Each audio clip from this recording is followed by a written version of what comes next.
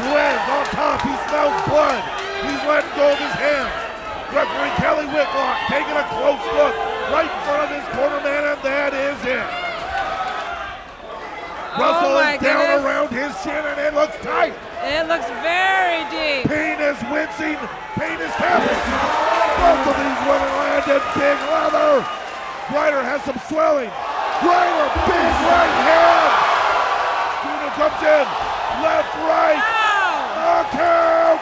And that is it. Joaquin, big right hand, stump of Baker.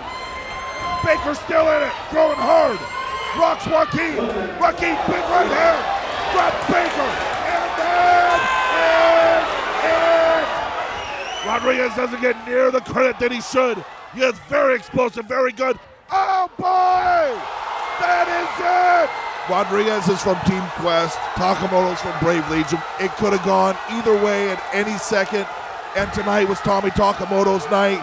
It's what happened. Someone's got to win. Someone's got to lose. Wow. This is an exciting night of fights, ladies and gentlemen. If you are missing this, you are in the wrong place tonight.